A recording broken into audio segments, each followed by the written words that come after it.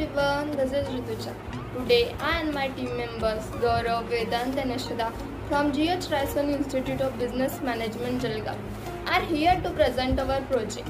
Here, putting light on our project of PIDT, Problem Identification Design Thinking, on the topic of autopiloted drone.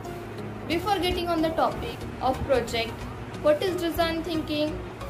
At its simplest, it's a, it's a way of using a designer toolkit uh, to find new ideas and discover innovative ways to solve problems. It's an human centric. By putting yourself in your customer's shoe like a designer would, you observe problems from inside out rather than outside in, allowing you to not only answer question but find the right question to answer. Here, there are five steps of problem solving. First, emphasize. Second, define. Third, ideate. Fourth, prototype. And the last one is fifth, test. What is drone?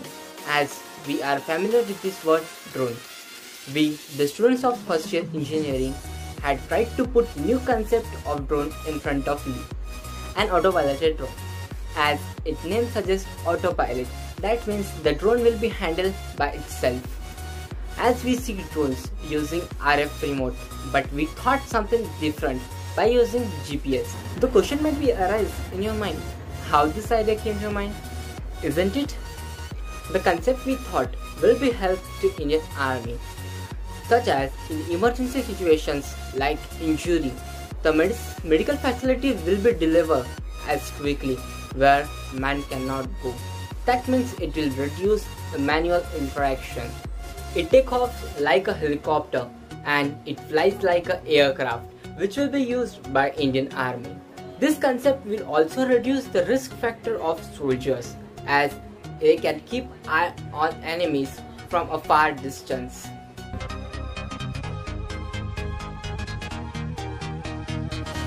About this project. Normally we see drones controlled by using RF remote. In this autopilot we use a GPS module to control it automatic by giving proper direction by it. But in our project we have to go about things in another way using an Arduino UNO.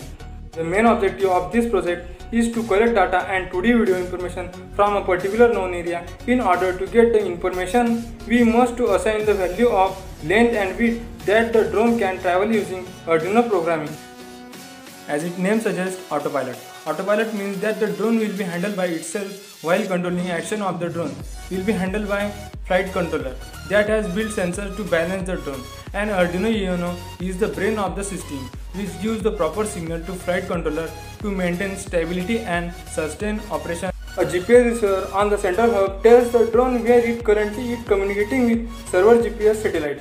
This information is used in conjunction with the user selected destination to get a path of travel. To simplify the problem, many drones fly at altitude free of obstacles.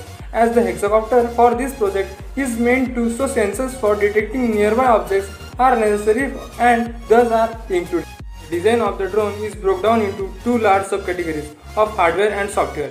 The hardware involves assembling the drone and testing it to verify that its components were working properly once connected together.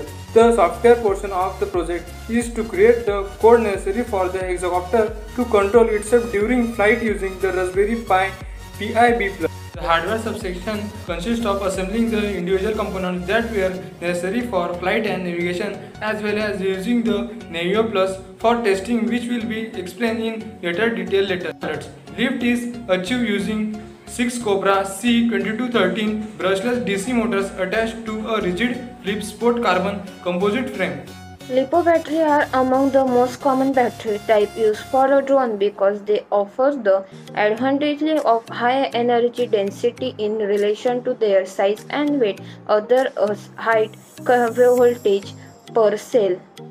So they can power up drone on the board system with a longer cell than other a rechargeable they also discharge more slowly than other types.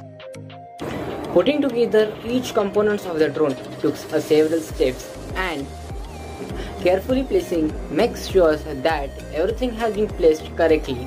The large and heavy parts are clipped at the close to the center so that it reduces the stability of the drone. Placing carefully in a semester to make a way of a testing and software purchasing of the project. The specification of project is drone that is capable for moving one coordinate to another by its own. Therefore, the complete success of project would have been demonstrated by by giving the drone a rough way of 50 to 100 feet to fly without any help. Here, man challenges to use the Navio Plus to control motors through program. Raspberry Pi B Plus employing a closed loop controller. PID proportional integral derivation is an acronym for three control methods. Uh, inertial measurement unit supplied necessary rotational or orientational data to the Raspberry Pi B Plus for PID controller. Propellers for the multimotor drone such as hexacopter, octocopter, quadcopter propellers. They are arranged in the pairs. They swing in clockwise direction and anti-clockwise direction to create a balance. The propellers we used in the drone which is 32.2 inch and its weight is 200 grams. A 360 degree camera is being used to capture the live data and weather monitoring sensor.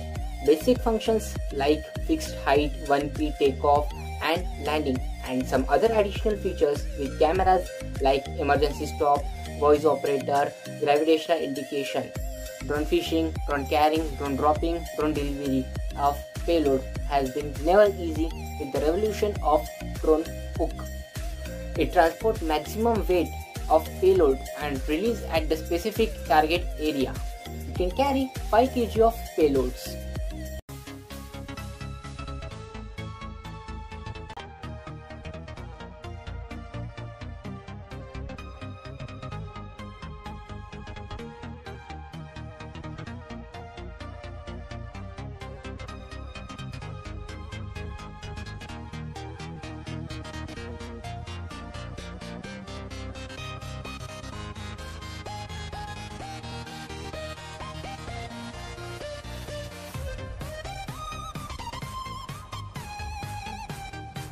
Fight to win with knockout because there is no run up in war. With this, a small token of love and gratitude from our team to Indian Army. A great salute to Indian Army.